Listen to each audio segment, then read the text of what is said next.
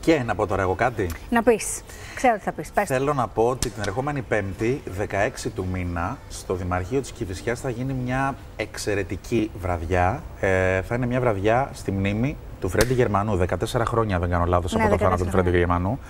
Πολλοί κόσμοι θα βρίσκεται εκεί, πολλοί άνθρωποι των γραμμάτων και των τεχνών θα μιλήσουν για τον Φρέντι Γερμανό και το μεγάλο του έργο του. Φυσικά και η Ναταλία θα βρίσκεται εκεί και θα μιλήσεις κιόλας, αν δεν Βεβαίως κάνω και του λάθος. περιμένω και όλους. Θα μιλήσω βεβαίως. Πάρα πολλοί κόσμοι θα είναι εκεί. Νομίζω ότι θα είναι μια πολύ ωραία βραδιά.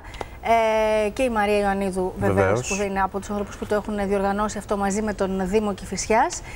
Και έτσι ένα, για να θυμηθούμε όλοι μαζί με χαμόγελο, όχι με διάθεση θλίψης, γιατί και Όπως ο τα θέλετε πατέρας μου ίδιος. ήταν και άνθρωπος που καθόλου υπέρ της θλίψης, αλλά άνθρωπος υπέρ του χαμόγελου.